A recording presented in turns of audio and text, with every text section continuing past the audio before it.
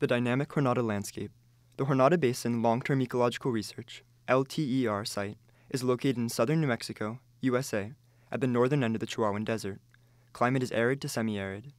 The Jornada LTER, in collaboration with the Jornada ARS, has a long history of data collection and data recovery from historic records. These records show that dramatic changes have occurred in the desert ecosystems over the past 150 years. The first vegetation map, created in 1858, shows that the Jornada Basin Research Site was dominated by perennial grasses, with scattered shrubs in many locations. The current landscape is very different in that shrubs now dominate nearly the entire landscape, with small pockets of remaining grasslands.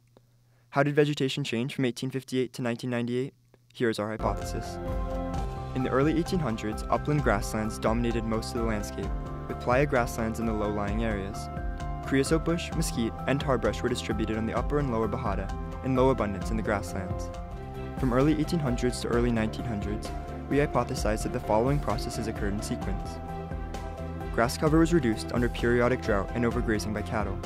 On the upper and lower Bajada, tarbrush increased in cover and abundance. As grass cover decreased, soil and water erosion increased on the upper Bajada, and topsoil was lost downslope. From early 1900s to 1928, a loss in grass cover and abundance continued, with overgrazing and periodic drought. Soil and water erosion increased, and loss of water and nutrients continued on the upper Bajada. Creosote bush increased to dominate over tarbrush on the upper Bajada from 1928 to early 2000s. Soil erosion and grass loss continued on upper Bajada and Sanchi. Creosote bush expanded into tarbrush ecosystems until tarbrush only dominated on lower Bajada. Thus, the Jornada landscape is very dynamic.